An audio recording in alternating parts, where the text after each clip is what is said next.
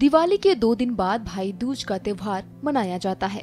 भाई दूज को यम द्वितीया के नाम से भी जाना जाता है।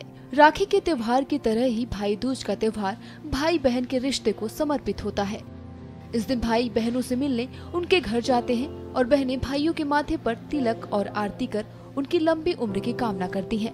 वहीं भाई भी बहनों के प्रति प्यार दिखाते हुए उन्हें उपहार देते हैं। इस बार ये त्योहार 6 नवंबर को पड़ रहा है।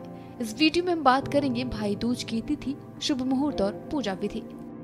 शुभ मुहूर्त। इस साल भाई दूज का त्योहार 6 नवंबर शनिवार के दिन मनाया जाएगा।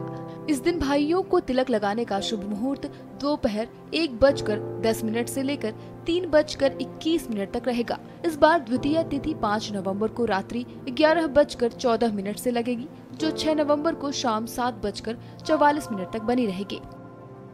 पूजा विधि भाई दूज के दिन सुबह जल्दी उठकर स्नान कर लें इसके बाद घर के मंदिर में दीप प्रज्वलित कर भगवान का ध्यान करें इस दिन शादीशुदा बहनें भाई को अपने घर बुलाकर उनका तिलक करती हैं।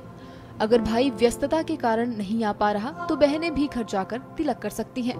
भाई के लिए पिसे हुए चावल से चौक बनाएँ और फिर भाई दूज की कहानी पढ़ें और सुनाएँ। इसके बाद भाई को तिलक करें, साथ ही साथ उनकी आरती करें भाई के हाथ में कलावा बांधें और मुँह मीठा करें इस दिन भाई को सूखा नारियल भी दिया जाता है तिलक करते हुए मन ही मन भगवान से भाई की लंबी उम्र की कामना करें, फिर भाई को भोजन कराएँ। ब्यूरो